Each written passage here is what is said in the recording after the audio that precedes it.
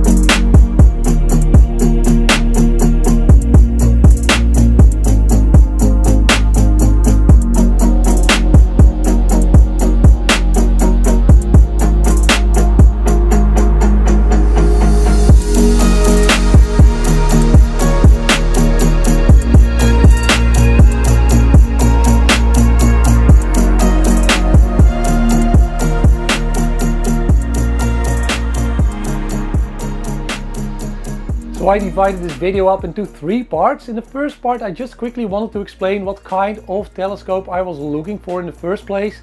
Uh, then we will move on to unboxing the Edge HD and I will get into some of the main advantages that the Edge HD has, in my opinion, uh, over other uh, telescopes that are on the astrophotography market today. And then in the third part of the video, I just wanted to show you some first light pictures taken with the Edge HD. Uh, keep in mind, uh, the astronomical seeing in the Netherlands is pretty terrible at the moment, but I was able to take some pictures of the moon and the planets in between the clouds, so I will show you what that looked like. So hi folks, let me just quickly explain why I was looking for a new telescope and I think you can summarize it by saying that I was suffering from what is called aperture fever. I was looking for a telescope with a little bit of a longer focal length and a bigger aperture as compared to some of the wide field refractors I already own and already engage in astrophotography with. And the main reason of course to want a longer focal length and a bigger aperture is that you can of course then zoom in on smaller deep sky objects that are out there in the night sky, some smaller galaxies, but also for instance the planets in our own solar system.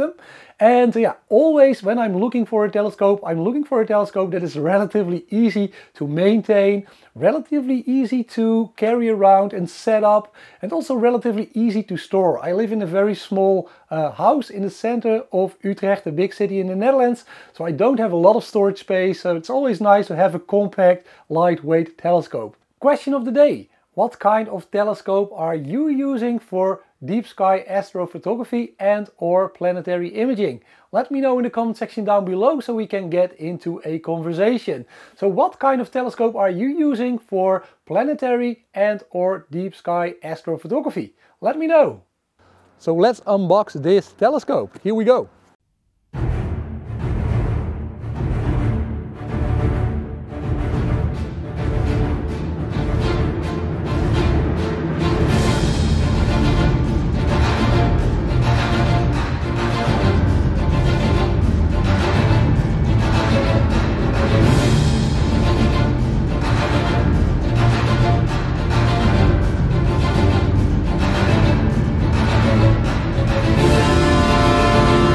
So let's just check what came in the box.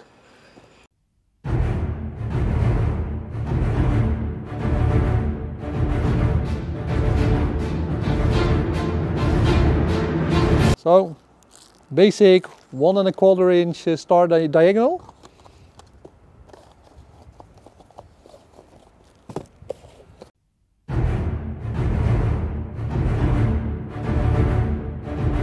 So this is actually, I think, an extra mount for the finder scope that comes with the Celestron Edge HD.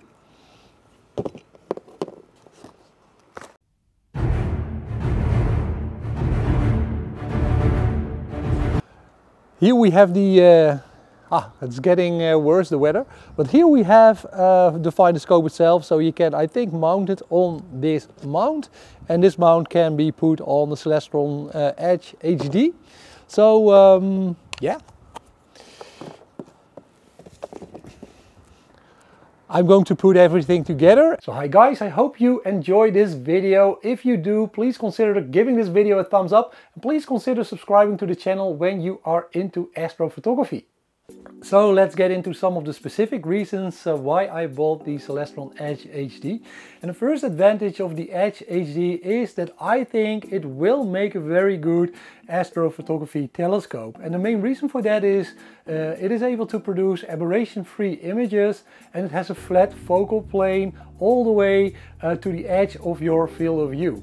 Um, and what does that actually mean? So yeah, when we compare the Edge HD design to, for instance, a Schmidt Cassegrain telescope, a normal Schmidt Cassegrain telescope, the normal SCT, it suffers from field curvature and also off-axis coma. And what that actually means in practice is that when you're going to image deep sky objects or a, a, star field, then the stars on the edge of your field of view, they will be out of focus and they will be elongated. Uh, and you don't want that. You want pinpoint, sharp, accurate stars across your entire field of view. And actually Edge HD, it comes with an extra mirror-based system that is able to correct actually for this field curvature and off-axis coma, producing these sharp pinpoint stars that you want to image. So what I also like about the Edge HD is that with a little bit of extra gear, you can turn this telescope into a multi-purpose telescope. So let me just explain what I mean by that. So first of all, in terms of planetary imaging, the Edge HD has a native focal length of 2000 millimeters. Well, when you compare that with a 2 times or a 3 times Barlow, you will get to 4000 or 6000 millimeters of focal length. And that really allows you to zoom in on the planets and also capture some of the surface details of Jupiter, for instance, or Mars. So um, yeah, you can use it for planetary imaging when you combine it with a Barlow lens. So second of all, when you're interested in imaging smaller deep sky objects, uh, smaller galaxies, smaller nebulae, you can actually uh, buy a Celestron 0.7 reducer specifically made for the Edge HD system and that will turn your telescope into an f7 ratio telescope so fast enough to capture a little bit of the dimmer nebulae, small nebulae that are out there uh, while still maintaining a long focal length. So your focal length will drop to about 1400 millimeters, but then still, still this focal length is a lot longer as compared to uh, some of the APO refractors, some of the lens-based telescopes that are on the market today uh, with uh, in a similar price range basically.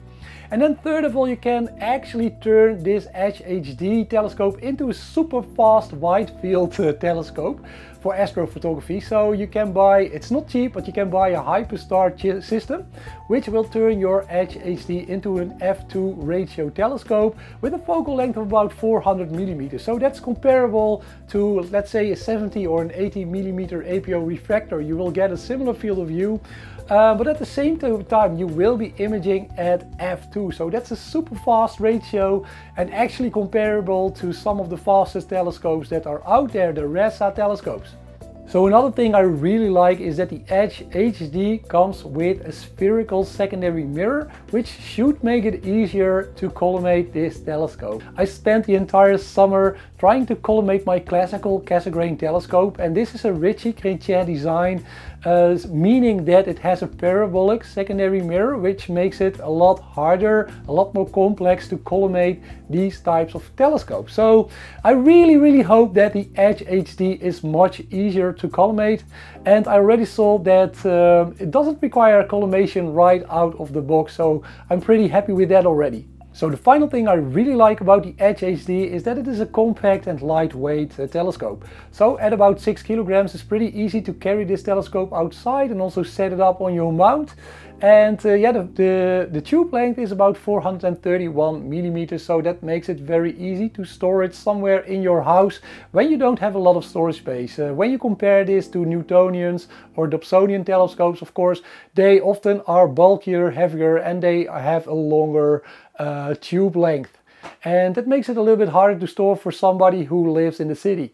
So a quick update for my regular viewers. You probably saw me playing around with my classical Cassegrain F12 during the summer, uh, but unfortunately I spent I think about five nights trying to collimate this telescope, but no matter what I did, I couldn't get this uh, telescope completely collimated. So uh, it, it, was very frustrating actually and I ended up uh, sending this telescope back to Telescope Service, a German-based company um, and they uh, were really really good. They, they took it back and I uh, changed actually this telescope for the Edge HD. So uh, I just want to be transparent and uh, let you know what happened.